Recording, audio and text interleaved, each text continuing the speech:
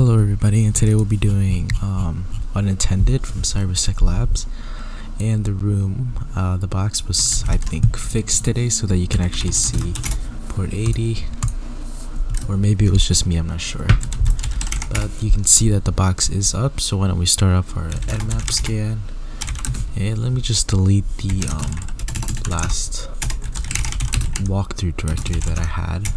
And we can just make our walkthrough directory let me start off our map scan. So why don't we do scan all the ports um, and we'll see what we get. Alright, and we see that our nmap scan is friendly done. So why don't we go up over here and we do see on port 80 HTTP file server. Now, um, I think we all know that um, that's vulnerable so we can exploit that. And we can also see SMB over here. Um, and we have some Microsoft RPC so let's just head over to that web server. Um, you can see HTTP file server. If you click on this you can see Rigetto and um, I'm pretty sure we all know that that's vulnerable. If you don't oops sorry search exploit Rigetto you can't see that there is a remote uh, command execution. And it's a metasploit module so we can just start up metasploit. And we'll let that start up. Um, yeah so we can just do search Rigetto you can see right here there's an exploit um, so why don't we use that show options? We can set our R host we also set our L host to our ton zero. We can run. And as you can see, we have an interpreter session, so that's great. Um,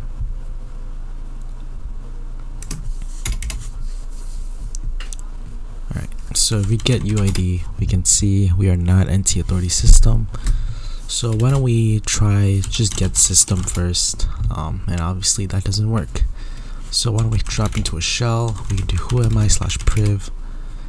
And doesn't look like we have much. So why don't we go into a our temp directory. You see some stuff here, but that's fine. Don't we upload our opt windows privilege escalation we can upload winps.exe. Now if you don't have winps for some reason, I'll leave that in the link in the description, but we probably all have it. So why don't we hop into a shell we can start up winps.exe and this should run through a lot of things. And it's done. Okay. So we head all the way back up. Um, okay. So we do see some possible kernel exploits um, but we can save that for last if nothing else works. And we can look through these um, user information so I guess it's the administrator. This is the user we are right now. Um, token privileges I guess we don't have any. Um, we can keep looking at these processes information um, possible DLL hijacking. Um, we have some more. And if we just keep looking down at this unquoted and space detected. Uh, we can definitely check those out. Okay. We can keep looking over here. Current listening ports. Uh, Windows credentials. See if that finds anything. Interesting files and registry. SSH keys, um, unattended files. So this is interesting. One because the name of this box is unattended, so I'm guessing this has something to do with it. But we'll save that, and we can check out what that is. But yeah, okay. So that is so that is it. So why don't we head over to this directory? Um, type on a 10 XML Ooh. That goes to there's a lot of stuff. Now, if you don't know what attend unattended files are, we can easily just Google this. So one of the best places you can go is book.hacktricks.xyz. Oops, that's not supposed to be here. So this is kind of like a cheat sheet for like a lot of things. You can get a lot of stuff here. Um, shells, Linux, Windows, uh, checklist, Linux privilege escalation, Windows privilege escalation. So why don't we just search up unattended unattended files. So I guess that's what we want. We can head over here, let that load up.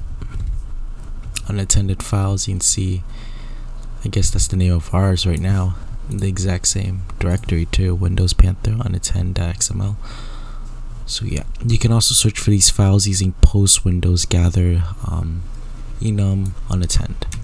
So that's interesting because we're actually in Metasploit right now, so we can run that I guess. Um, we can background our section session and we can just do use post Windows gather enum unattend.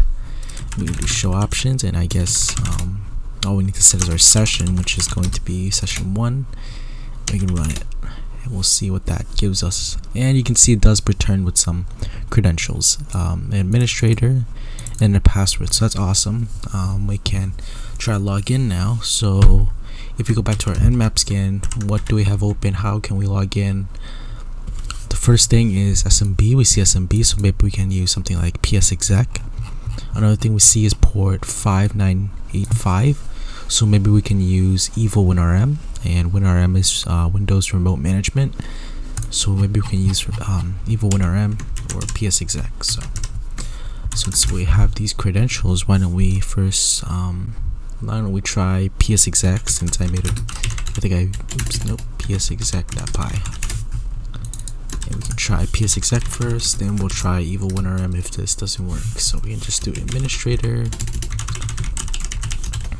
to the password. At need to grab the IP address um, that you can see it found a writable shell in admin uploaded a file and you can see we do have a shell. If we do who am I? We are NT authority system. We can head over to users um, you can go over to administrator and you can go over to your desktop oops. Nope. Cd desktop. Why does that not work? Cd desktop. Okay. They spell it wrong or something? Oh. Ccd I don't know why that happened. And over here you can find your system flag. But why don't we try evil WinRM as well we can see if that works. If you don't have evil WinRM just do gem install evil WinRM just simple as that. So we can try evil WinRM dash i for IP address. And we can set that to our IP address which I'm going to grab from over here. Where is it? This right here. Oops. And over here um oh boy. Okay and we can grab our administrator. So dash u for dash u for user. User is administrator dash p for password and our passwords over here. So we can try that. You can see it's establishing connection. You can see we are logged in with Evo WinRM if we do who am I? We are the unattended administrator. And we can cd dot dot cd desktop cd desktop ls and that's your system flag right there. So that's how you do unattended. Hope you guys enjoyed this video. This was a fairly simple box um, if you guys enjoyed it please leave a thumbs up and i'll probably make some more videos soon. Um, so yeah i'll see you guys in the next video